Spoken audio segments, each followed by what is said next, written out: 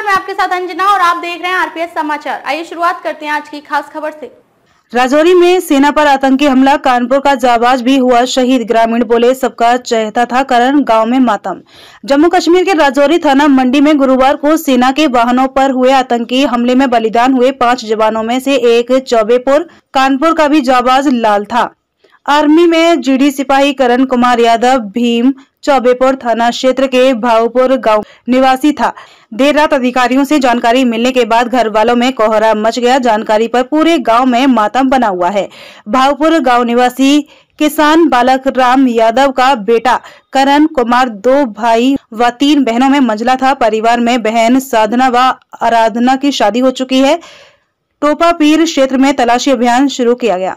वहीं बहन सोमवती तथा छोटा भाई अर्जुन अविवाहित है। करण वर्ष 2013 में सेना में भर्ती हुआ था। इन दिनों उसकी तैनाती जम्मू कश्मीर के राजौरी क्षेत्र में थी। सैन्य जानकारी के अनुसार सेना की आरआर बटालियन द्वारा टोपा पीर क्षेत्र में आतंकी गतिविधियाँ होने के चलते तलाशी अभियान शुरू किया गया था। जिप्सी पर आतंकियों ने हमला कर दिया। इसी दौरान गुरुवार दोपहर जिप्सी में सवार होकर बाफलियाज मार्ग से गुजरने के दौरान आतंकियों ने हमला कर दिया। हमले में पाँच जवान मौके पर ही बलिदान हो गए, जिसमें नायक चालक करण कुमार चौबेपुर का निवासी था। पिता बालक राम ने बताया कि करण की पत्नी अंजू बच्चों के साथ रामा देवी में रह रही है। गाँव में मातम का माहौल छाया। करण की छह वर्षीय बेटी आर्या व दो वर्ष का बेटा आर्यन है।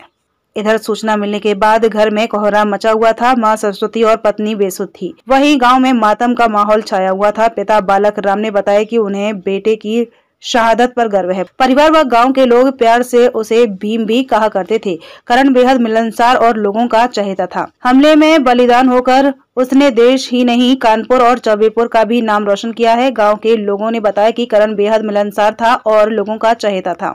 वह जब गाँव आता था तो लोगों के बीच घुल मिल जाता था। पूरे गाँव कट पूरा गाँव भीम की शहादत पर नम आँखों से गर्व कर रहा है।